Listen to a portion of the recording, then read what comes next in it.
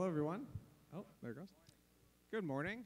Uh, thank you all for, for joining. I know how hard it is to not play pinball, so I appreciate you coming and not playing pinball with me at 10:30 on a Saturday. Uh, so this seminar is, is just a little bit about uh, Pinball Chicago, which is the team-based league uh, in Chicago, and a little bit about the format of how we run our games, we run the league, uh, just in case you're curious. So, a little bit about myself. Uh, my name is William Russo. I am the uh, proud commissioner of Pinball Chicago.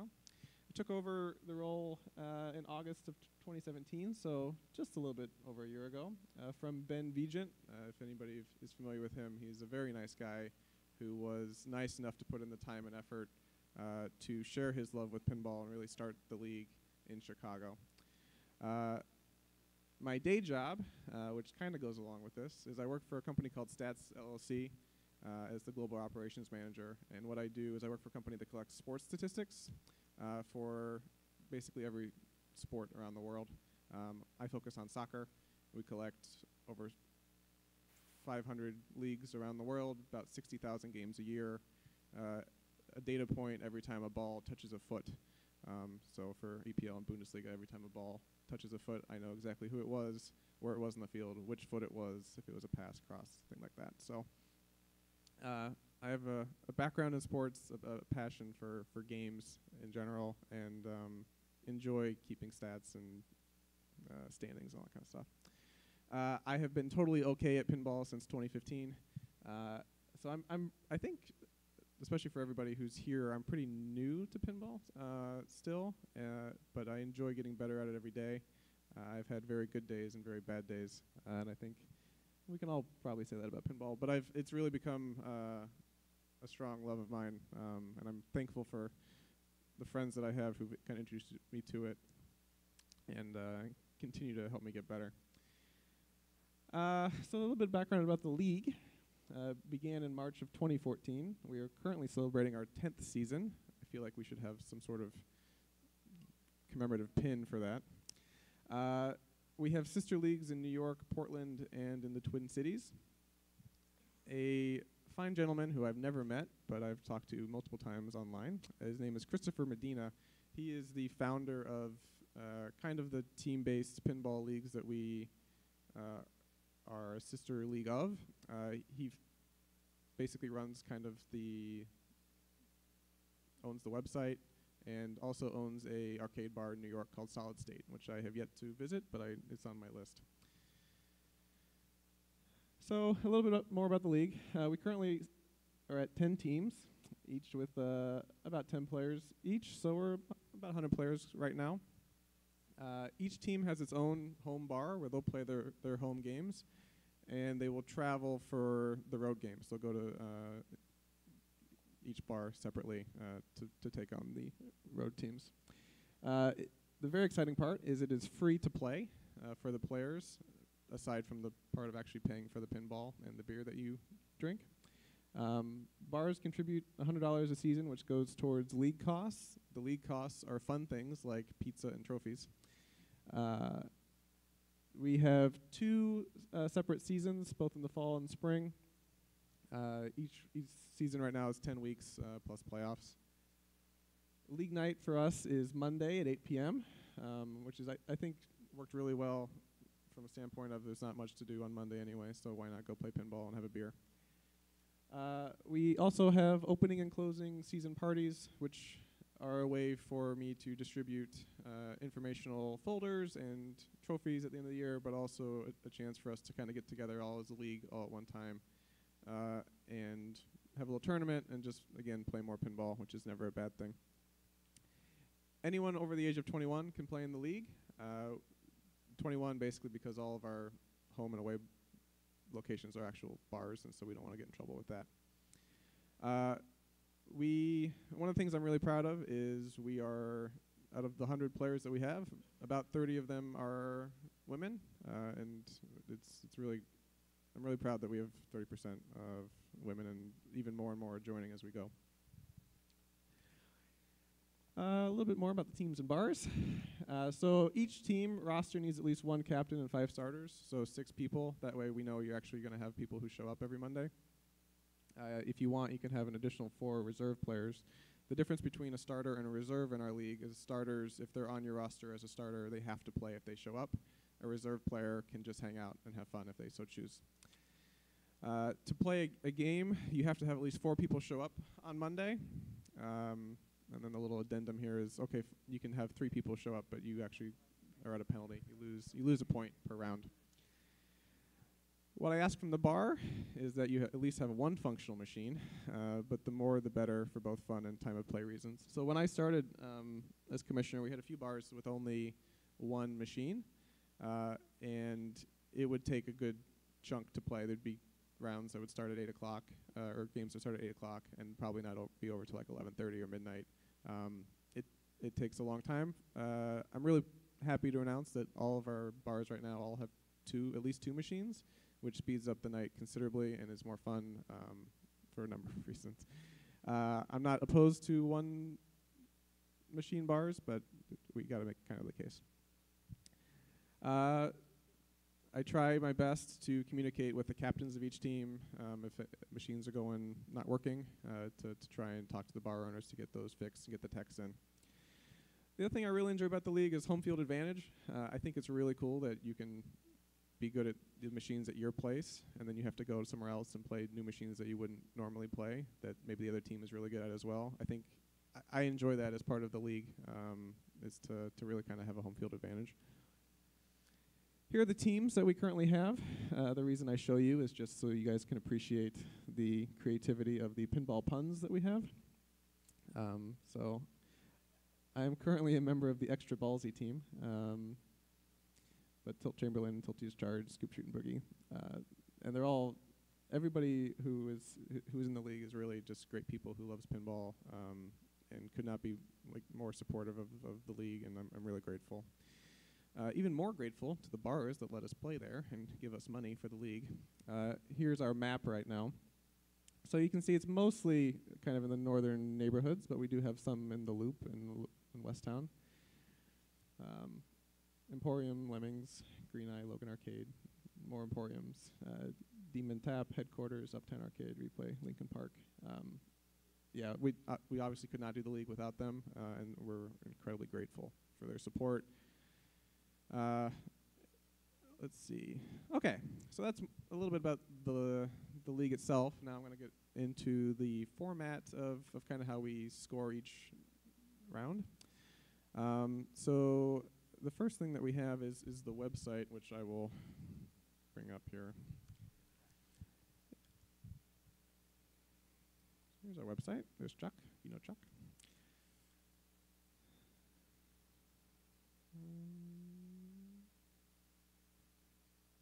So the website we have uh, going, and just just a, a, very easy way to take a look at the schedule for the league. Uh, so here's our, our, our fall schedule with the results and the days and the locations. So if, for example, this week, uh, my team is going on the road to Uptown Arcade.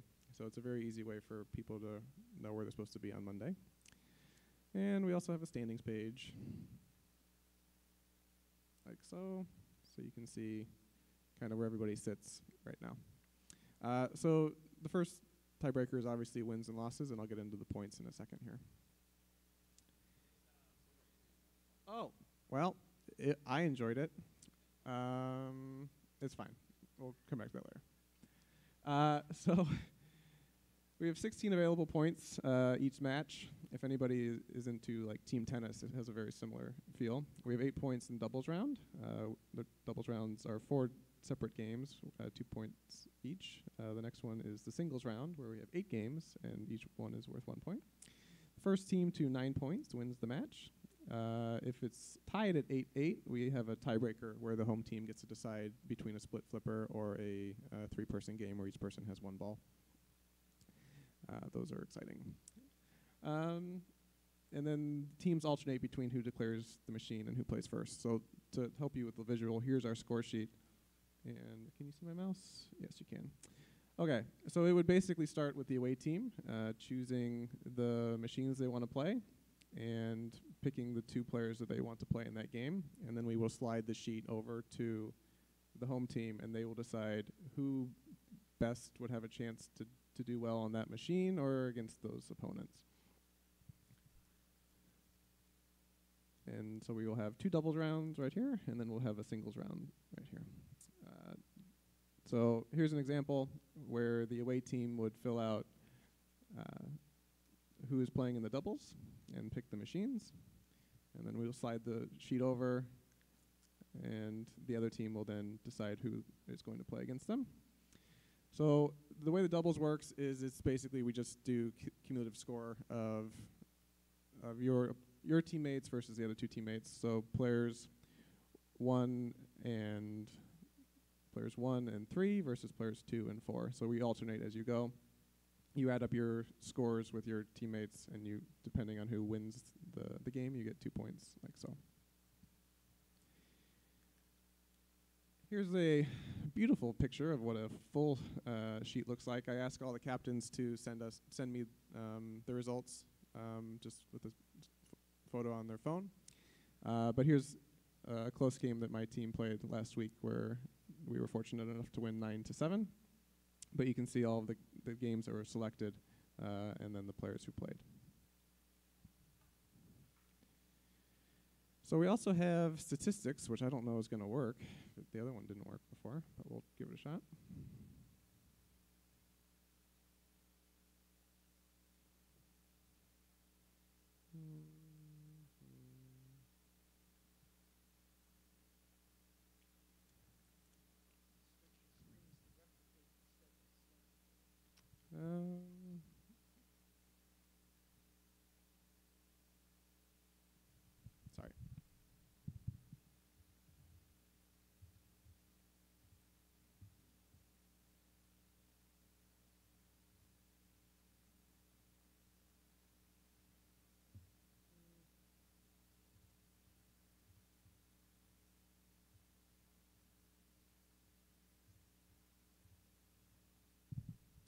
I've decided if you want to see the statistics, you can come up to me after the uh, presentation.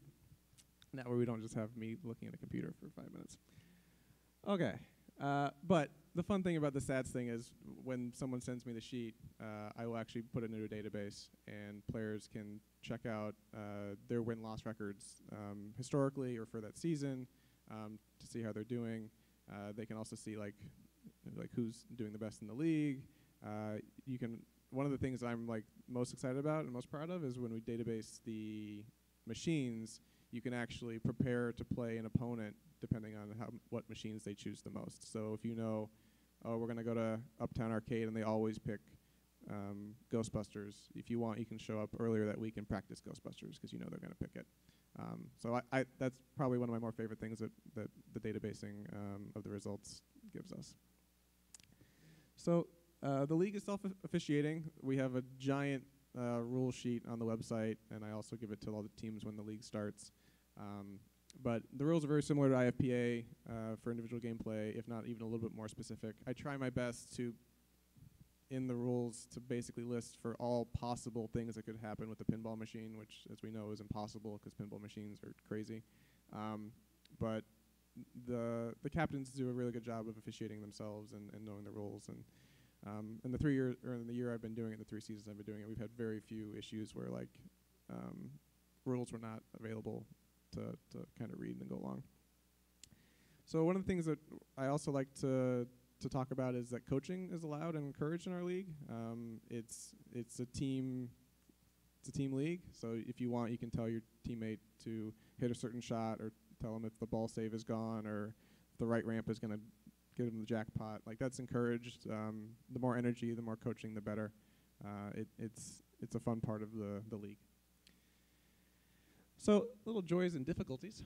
Uh, just a little bit about kind of my experiences being a commissioner. Uh, the bars really enjoy it both financially and and the idea of having a team. So on Monday nights, especially uh, in the winter, might be a little slow for them, but we we bring in um, a lot more drinkers, I suppose, uh, and it's it's it's good from a especially not even on league nights, but people will go to their home bar and practice, or people will go to a different bar and practice before the actual game night.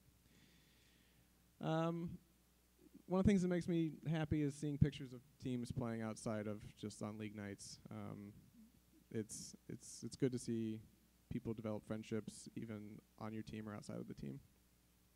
And it's just another reason to play pinball, which we don't need. Um, if anybody's here, we all love it, but uh, just another reason to play pinball is great.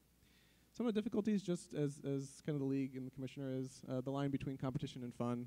Uh, it's it's a we want everyone to try, but we also want everyone to be a good sport. Uh, the stress of letting your team down. Um, I know, at least for for me, if if I go and play a tournament and I do poorly, then that's kind of on me. But if I were to lose, uh, and my team would lose because of it, I know that it's kind of an added stressor. Um, so that's always one of the things that I, I try and really try and push both for for my team, but the league is that this really is supposed to be fun. Machine quality. Obviously, pinball machines um, at arcades get played a lot. Uh, and so occasionally machines will malfunction, and that's always kind of a troublesome thing. Uh, collecting money from bars, always an adventure. Uh, most are pretty good, some you got to chase. Personalities, some people have opinions, which is always a thing. Uh, and then pin pinball being pinball. Pinball is a random sport, which is why we love it, uh, but it, it does cause some issues. Uh, the last thing I would I'm going to add is the the wheel that at least our team started using to to kind of reduce the pressure of picking who is playing and who is uh, and what machine. So we just added this little wheel thing. Um, it's not mandatory at all for the league, but it's something that we do and we like a lot. So the first thing that we'll do is we'll just we'll spin the wheel to decide who's going to play in that game. So in the first game, it's going to be Nate Stevie, uh, which is exciting. I'm sure Stevie's pumped about playing. And then we're going to pick her teammate. This is like for a doubles round and it's Anne, it's me. Uh, so we will play together on the team, and then what we'll do is we'll flip it over uh, to to pick the arcade that we're at, which we have all of the machines at the arcade, and this will be the machine that we play. So it does, I think, put us at a little bit of a competitive disadvantage, but I would say from a uh, team camaraderie and less stress, it is it's been uh, it's been really great uh, to to do this. So we're playing Ghostbusters. Um, so yeah, this is just kind of something that we do on the top of it. It also is good if you ever want to like practice for a tournament. You don't know what machines you're going to be cho chosen to play. So the last thing I have is just trophies and questions. Um, I'm not giving away the trophies. I'm just showing them to you.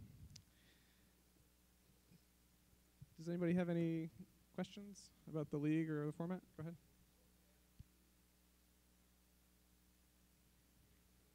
No, we, we purchased the wheel. Uh, I will ask the man in the front row. Decide now, is the app.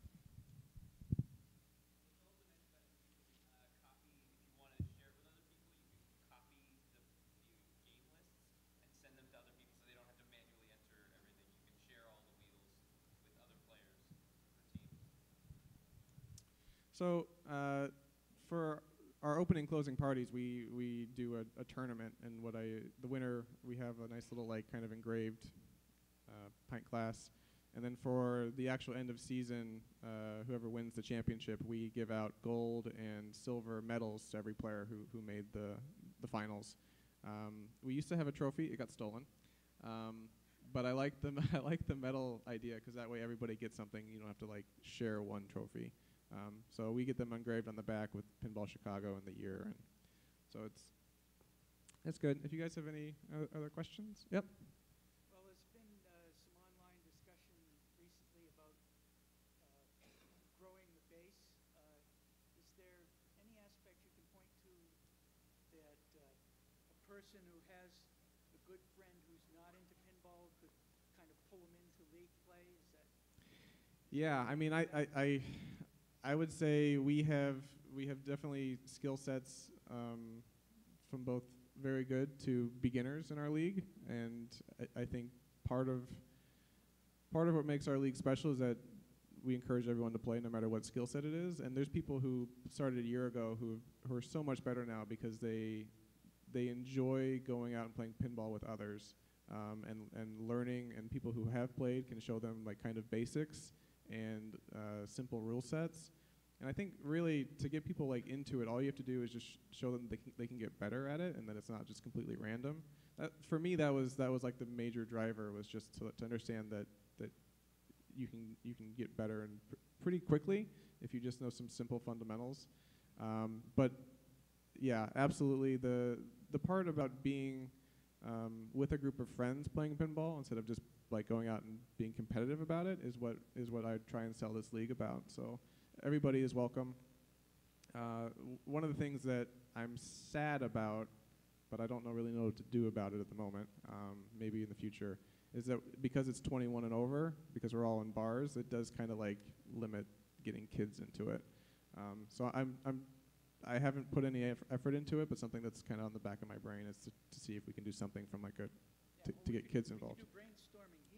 Yeah. This, but for the good of pinball in general, I guess, the more you can do, like if you can get testimonials on your pinballchicago.org website from people who say, a year ago, my friend uh, brought me into this league, and I didn't know if I was going to like it, and now I, you know, Yeah, a- have so and. Absolutely. And I I am a perfect example of that. I didn't play pinball at all until three years ago, um, and now I'm sitting at doing the pinball Chicago commissioner thing. So um, yeah, there's there's a, a lot of players who've just kind of started in our league, um, and they've gotten so much better. Uh, I have another question. Um, So you, you talked about the maintenance issues. Uh, Of those bars, are some of them uh, like barcades that have technicians on staff, or is it all operators that are third parties? It's a mixture of it's a mixture of both. Okay. Uh, yeah, it's a mixture of both. And are you, are you in direct contact with any of the operators? I am, yeah. Uh, yeah, not all of them. Some I go through the bar, but some I have a direct contact with the, the operators, and and uh, usually the operators are the, the easiest ones to get a hold of. Um, Well, certainly, when you think about it, the operator only makes money on the coin drop in the game. They have much more of a vested interest than the bar where they're selling beer, Yeah. selling food, and this is just a little extra. yeah, something I didn't really talk about, but when we when you go before every match starts, each team is usually there probably about a half hour or an hour before, like kind of warming up and playing and getting used to the machines. Um, but before every match starts, the two captains get together and say like, "Hey, there's a switch on Star Wars that's not working. That one's out tonight." Um, which is why the more machines, the better, just in case uh, one machine isn't working that day.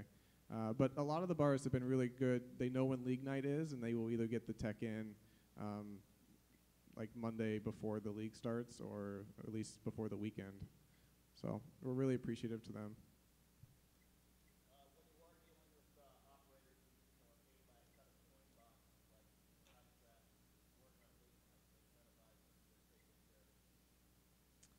Uh, I mean, I, I think most of it is is just communication. It's just getting to them before, like, it's just getting to them ahead of time. So you don't, if the league starts at Monday at eight o'clock, you don't text them at Monday at six o'clock saying like, "Hey, this machine's broken."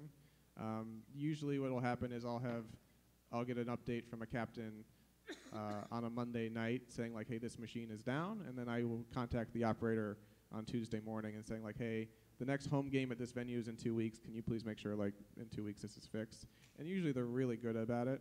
Um, the only time I've ever had a big issue with this is when the operator and the pinball bar owner were just like kind of at, at like at odds on like when they could when the bar was open for them to fix it. Um, but that fortunately has passed. Uh, but I, I've I've found no reluctance to operators fixing machines as long as you just communicate ahead of time and, and be nice to them. Any other questions? Oh, go ahead.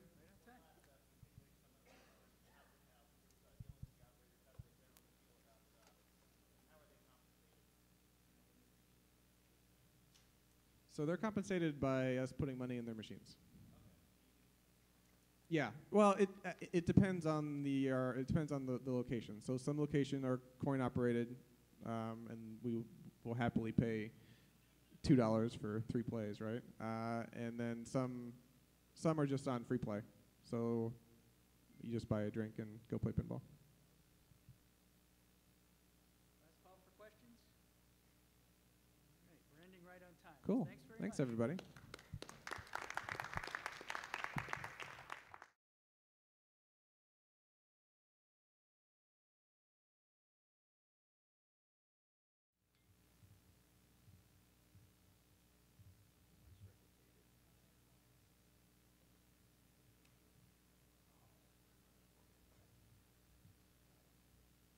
And now here he is, seconds before he's due to go on. Oh, All right.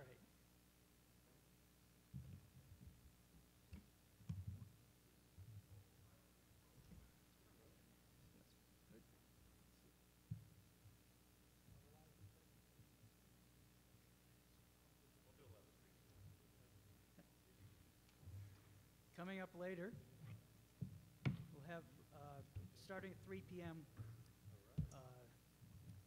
Scott Danesi talking about his uh, fan favorite game, Total Nuclear Annihilation. And then begins the succession of Stern Pinball presentations. New designer Keith Elwin, old designer Steve Ritchie, ultimate designer and head chief creative officer, I guess they call him now, George Gomez, uh, and the Stern Orama.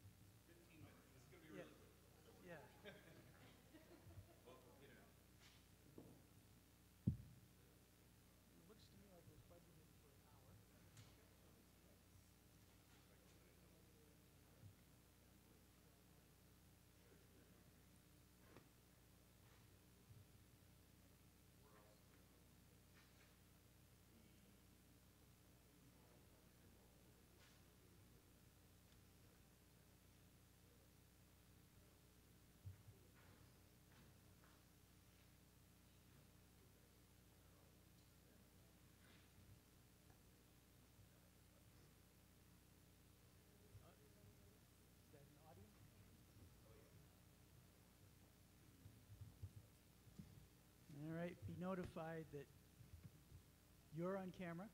You don't have to be. Yeah. he- Yeah, take your, take your shirt, uh, official expo shirt and pull it up over your head.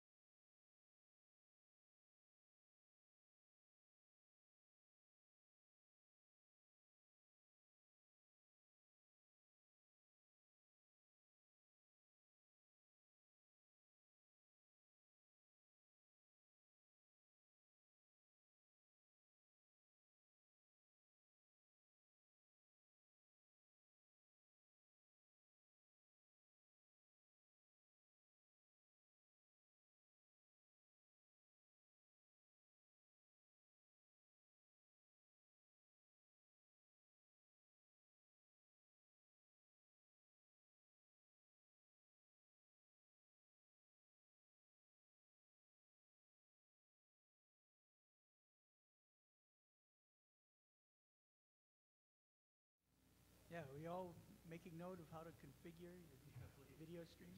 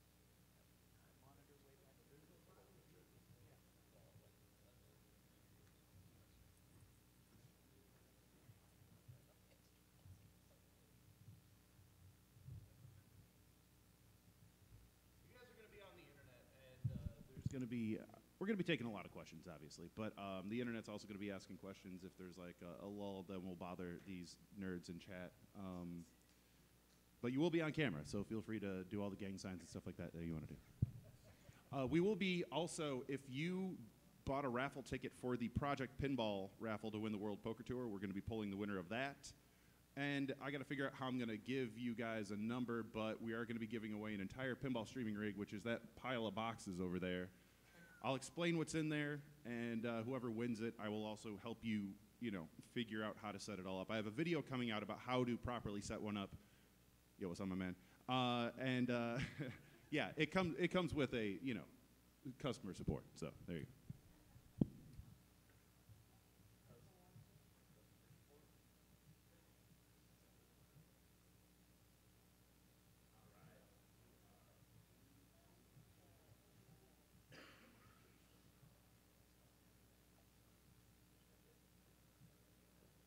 Places, everybody.